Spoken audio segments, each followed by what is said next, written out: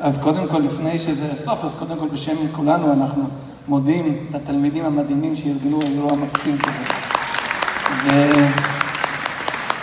וגם לכם, שהיה לכם את הסבלנות לשבת לשמוע את הקשקושים שלנו. Uh, תראו, קודם כל אני מוכרח לחלוק על עצם השאלה. יש לי בעיה. אני, את המשקפיים שלי, אני קונה באופטיקאי. אילו הייתי קונה אותם אצל הפסימיקאי, הייתי פסימי. אני קונה אותם אצל אופטימיקאי, אופטיקאי, ואני אופטימי.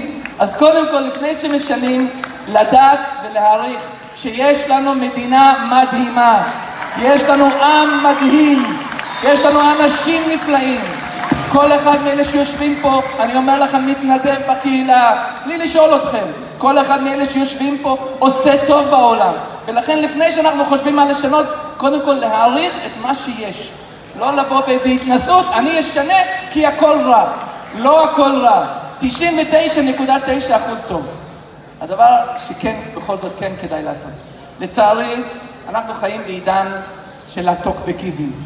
אני מדליק את ה... לפני שאני שוטף פנים בבוקר, אני לוקח את הפלאפון לראות מה כתוב בטוויטר, מה כתוב בפייסבוק, מה כתוב בזה, ומה אני אגיב, איך אני אכניס בו.